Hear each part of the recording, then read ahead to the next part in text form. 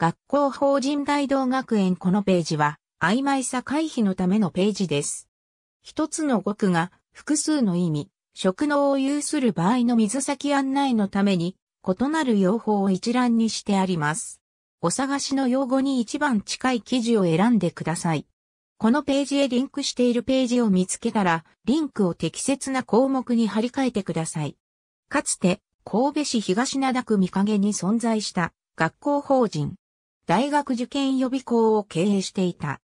地元の有力進学校である神戸高校、灘高校、六甲高校、紅葉高校などの優秀な浪人生が学び、全国区の大手予備校が進出する以前の1950から1980年代には、西日本でトップクラスの大学進学成績を残した。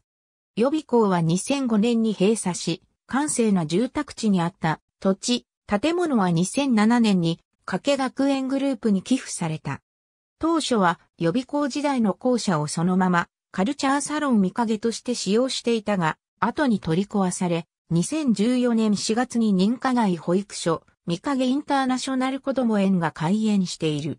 奈良県生駒郡安堵町に存在する学校法人、大道幼稚園を経営している。埼玉県埼玉市岩槻区に所在する学校法人、桂愛幼稚園を経営している。ありがとうございます。